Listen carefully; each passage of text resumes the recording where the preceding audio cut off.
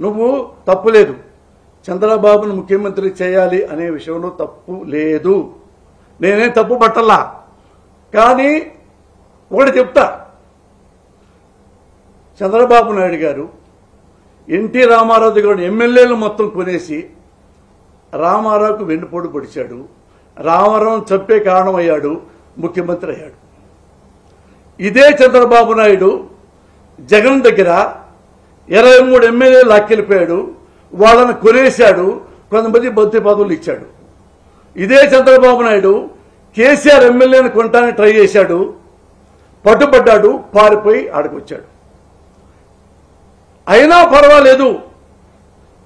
చంద్రబాబే మన రాష్ట్ర ముఖ్యమంత్రి కావాలి అని అంటావా?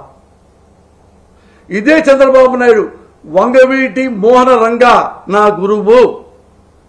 లక్షలాది మంది శిష్యుల్లో నేను ఒక శిష్యుండి శిష్యు పరమాణువుణ్ణి గొప్పవాడిని కాదు. అలాంటి నాయకుణ్ణి చంపించారు చంద్రబాబు నాయుడు. అందరూ తెలుసు. అయినా పర్వాలేదు. రంగయ్య గారిని చంపినా పర్వాలేదు. చంద్రబాబే మనకు ముఖ్యమంత్రి కావాలి అని ప్రచారం చేస్తావా? మీ అన్నయ్యని మీ అన్నయ్యని పార్టీ పెట్టినప్పుడు ఇప్పుడు ముసలాడు రామోజీరావు.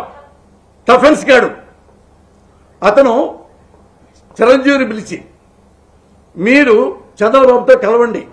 అప్పుడు వైసీపీని ఓడించు వై- మన రాజశేఖర రెడ్డి గారిని ఓడించవచ్చు లేకపోతే ఓడించలేరు. లేకపోతే చంద్రబాబు ఈసారి ముఖ్యమంత్రి కానివ్వండి ఆ తర్వాత మీరు రానండి. అంటే వద్దండి. Chiranjeevi hats off Chiranjeevi. నేను ఓడిపోయినా పర్వాలేదండి. నేను పార్టీ పెట్టింది ప్రజల కోసం. ఓడిపోయిన హుందాకుంటా ఇట్లాగ కలిసి నేను చేయనండి. వైఎస్ఆర్ని ఓడించడం కోసం నేను పార్టీ పెట్టలేదండి. నేను గెలవడానికి పార్టీ పెట్టా అని హ్యాట్సప్గా చెప్పి వెళ్ళిపోయాడు. వెళ్ళిపోతే చంద్రబాబు ఎంత ఘోరంగా తిట్టాడో తెలుసా? తిట్టించాడో?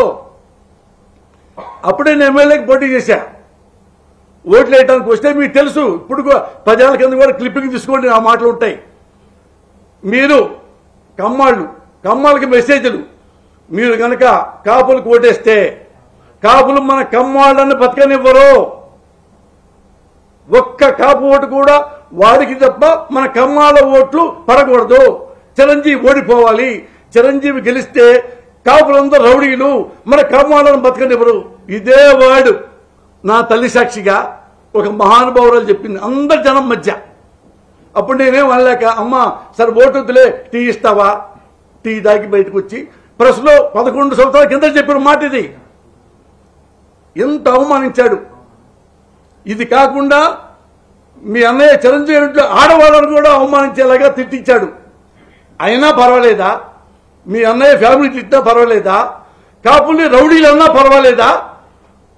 చంద్రబాబు మాత్రం ముఖ్యమంత్రి కావాల్సిందే. అని కాపుల మధ్య నిలబడి మాట్లాడుకుంటాం.